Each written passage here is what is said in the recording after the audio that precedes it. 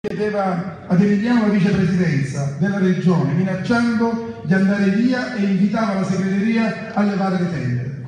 Questa dichiarazione a mio avviso non doveva farla Sergio, doveva farla il segretario provinciale del Partito Democratico, perché a noi spettava, non dico la vicepresidenza, ma un assessorato forte, un assessorato che conta in questa regione.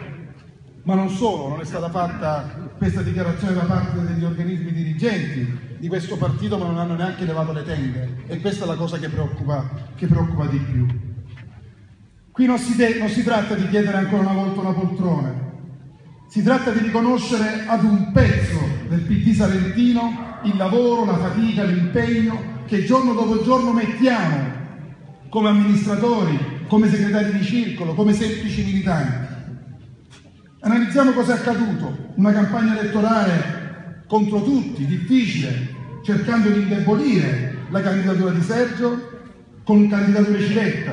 Pazienza, è andata bene, anzi benissimo. Il risultato straordinario, il più suffragato d'Italia, quindi grande risposta dei nostri, dei nostri elettori. Poi arriviamo alla nomina degli assessori. Bene, tre giorni prima un esposto infamante nei suoi confronti, trattato come il più grande delinquente sui giornali, mi riferisco dalla stampa. È una vergogna, non per la stampa, ma per chi ha architettato tutto questo. Per chi ha architettato tutto questo.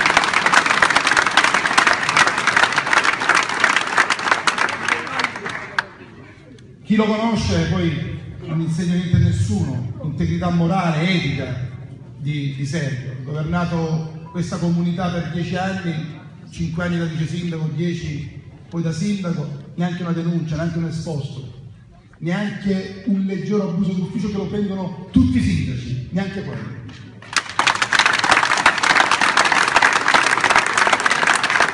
E la direzione provinciale in tutto questo se ne esce oggi sui giornali, sì, ma il Salento è rappresentato dalla Capone. Grazie, grazie, grazie. Ma dove andiamo? E allora per concludere, io non ho una soluzione da dare a tutto questo. Mi auguro che il segretario presidente ci ripensi e dia il giusto peso a quel voto, a questo territorio. Se così non sarà, allora per questo partito inizia una brutta stagione. La capirete che siccome non sono ricco di famiglia, l'unico patrimonio che ho è la mia onorabilità. E vi chiedo di difenderla tutti insieme. L'unica cosa che vi chiedo, perché questo io sono a disposizione vostra, per le nostre battaglie, per le battaglie di questa terra. Per quello che dovremmo fare nei prossimi, nei prossimi mesi e nei prossimi cinque anni.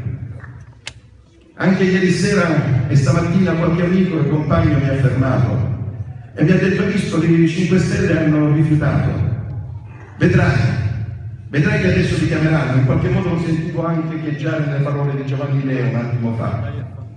Allora. No!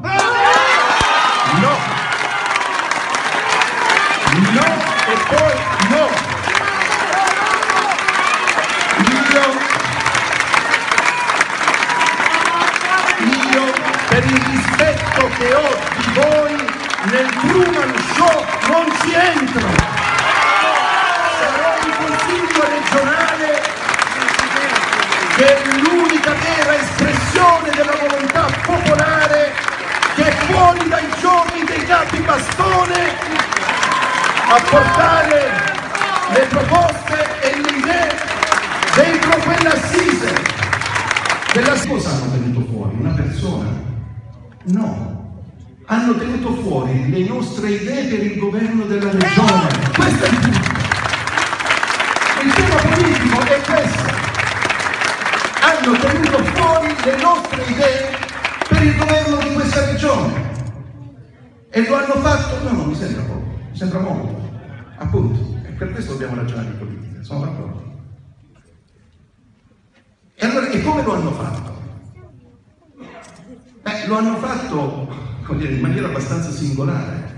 E io su questo vi invito a riflettere. Le sagre. Le sagre sono qualcosa di genuino, di popolare. Ma lì che cosa è accaduto? Beh, lì è accaduta una cosa che politicamente molto seria. Cioè sostanzialmente è accaduto che si è messo in atto una sorta di messa in scena in cui si è dato al popolo delle sagre cioè a tante persone che hanno creduto che fosse un momento di partecipazione vera, dando il loro contributo, iscrivendosi, partecipando ai tavoli. Sono stati dati una, una serie di nomi, dieci nomi, ma questi dieci nomi da chi sono stati scelti? Sono stati messi nelle mani del popolo delle sagre ciò che nelle segrete stanze con il perfetto manuale Cencelli era stato contrattato dal presidente della regione con i partiti della sua coalizione, tra cui le sue due liste personali. E quando si è andato a votare, che cosa si è votato?